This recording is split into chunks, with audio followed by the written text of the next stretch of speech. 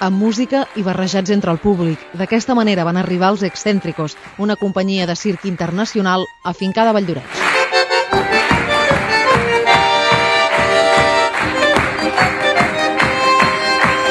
A una nau de cultura plena vessar, els tres components d'aquesta companyia van interpretar el millor del seu espectacle Rococó Bananes.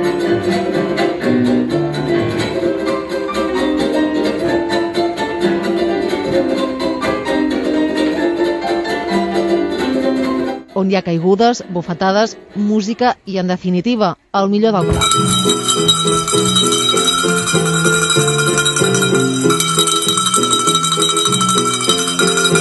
Un espectacle que agrada a grans i petits i que té com a música de fons els somriures del públic que ha estat entregat durant l'hora i quart d'espectacle. Els excèntricos tenen una trajectòria de més de 20 anys i compten, entre els seus premis, amb el Nacional de Cultura de la Generalitat, que van obtenir el 2011 precisament amb aquest espectacle Rococó Bananes. Després de la seva actuació a Valldoreix, on resideixen, marxen al sud de França, on tenen prevista una actuació.